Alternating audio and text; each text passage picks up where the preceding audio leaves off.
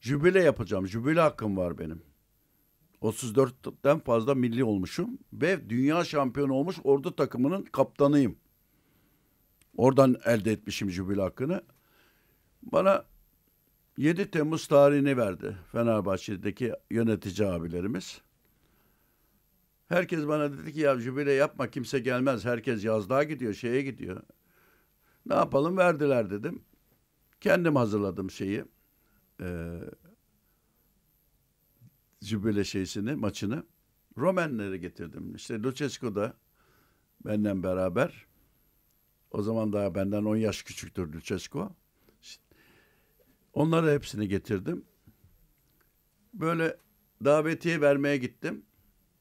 Bana sanki şey dileniyor gibi geldi. Vermedim. Karaköy iskelesinde hamallar var. Beni gördüler. Ertesi gün maç var. Abi dediler yarın akşam maçtayız biz. Hiç merak etme.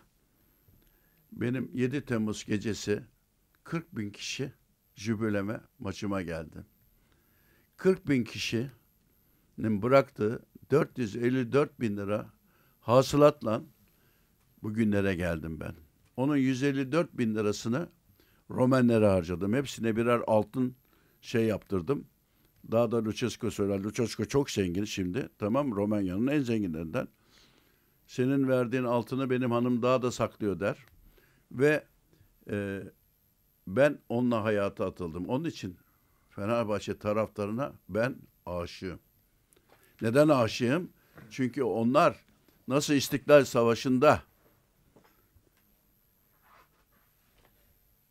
memleket için her şey yaptılarsa sevdikleri insan için de her şey yapıyorlar.